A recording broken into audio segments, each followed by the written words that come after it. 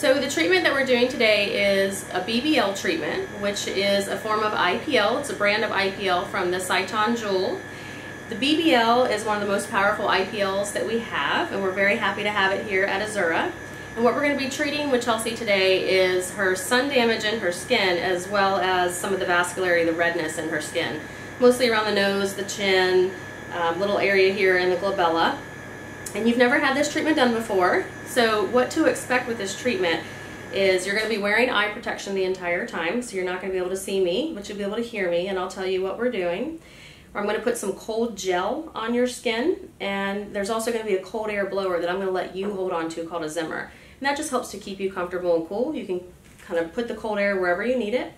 So between the gel and the cold air and the goggles, there's a bright light that's also going to flash with the treatment, all completely normal.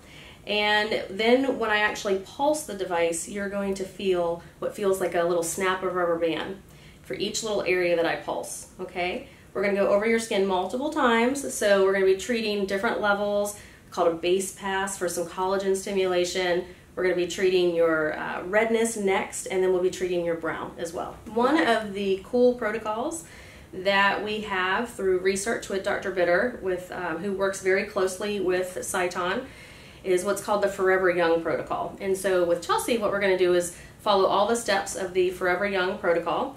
And this is something that actually helps to stimulate and regenerate some of the cells in your skin and basically does what it says, keeps you forever young. If you were to maintain these treatments over time, we would not see as much aging occurring as rapidly as if we weren't keeping up with your treatments. Sorry. Okay, so what's happening is I just got done with your treatment. You've got a little bit of redness, which is normal in your skin. Sometimes you get a little bit of puffiness under this area, which is completely normal. Some people do get a little more swollen than others.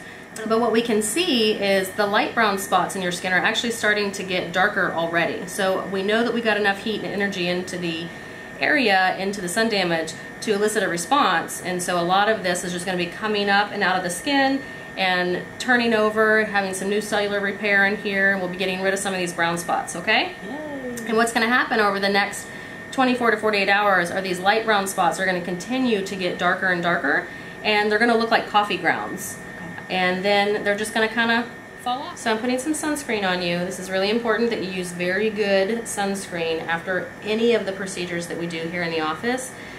Um, we really want to make sure that we protect your skin. Your skin might be a little more sensitive in the sun over the next few days, but you are investing in yourself, you are investing in your skin, you need to wear good sunscreen. Since we're cleaning up all this damage, we don't want to just revert back to where you were. So sunscreen, sunscreen, sunscreen, I cannot say it enough, is so significantly important when we're going through this process.